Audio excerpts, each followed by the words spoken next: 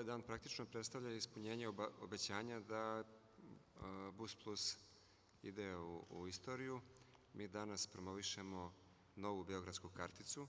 Po ugovoru je ta beogradska kartica trebala u prvih šest meseci da, da bude realizovana, međutim, prosto privatni partner je išao korak u napred, što smo mi naravno podržali i oni su već danas danas kreću sa prodajom novih beogradskih kartica.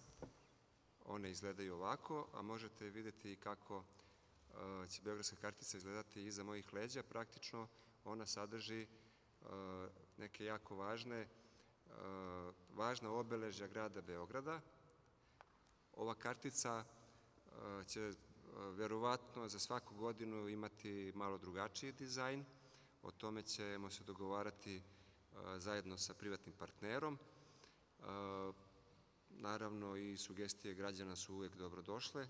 Znači za, za sledeće kartice koje budemo ovaj, dizajnirali, ako ovaj, građani budu zainteresovani da dostave svoje predloge, oni će svakako biti razmotreni i siguran sam da će privatni partner sa zadovoljstvom da iskoristi svaku dobru ideju.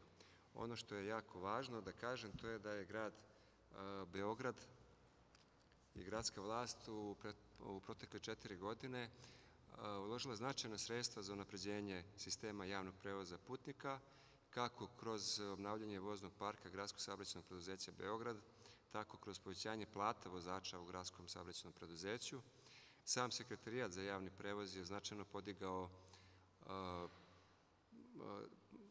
nivo svog rada u smislu kontrole prevoznika, tako da mogu da kažem da smo mi realizaciju redova vožnje gradskog saobraćenog preduzeća podigli sa 89 prosečnih posto na 96 procenata, što nije zabeleženo u posljednjih 20 godina.